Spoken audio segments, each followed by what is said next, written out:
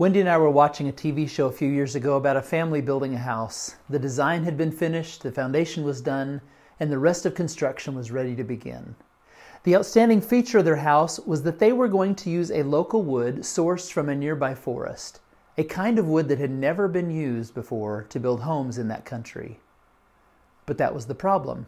Because that tree species had never before been used for building, the code enforcement officials stopped construction. The wood first had to be tested for strength. And as frustrating as that was to the family building the house, it was necessary. If the wood isn't strong enough, there's no reason to build the house, right? Good news, the wood was tested by engineers and it was even stronger than necessary. The house was finished. Last week we studied about the baptism of Jesus, which marks the beginning of his ministry. But then Jesus surprises us again. His first ministry task is not to go be with people, it is to go to the wilderness by himself for testing. Before the house can be built, the wood must first be tested. Sunday, we're going to study Matthew chapter 4, 1 through 17.